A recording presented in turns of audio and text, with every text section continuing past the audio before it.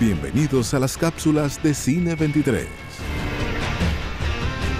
¿Sabías que la película 300 se rodó en 60 días y fue grabada en Montreal con pantallas azules y verdes para digitalizar? ¡Esto es Esparta! El guion exigía que la mayor parte del casting enseñase su torso al igual que la novela gráfica original de Frank Miller. Por lo tanto, para representar adecuadamente la fuerza y garra, tuvieron que seguir un entrenamiento riguroso durante seis semanas seguidas. Esto fue Cine 23.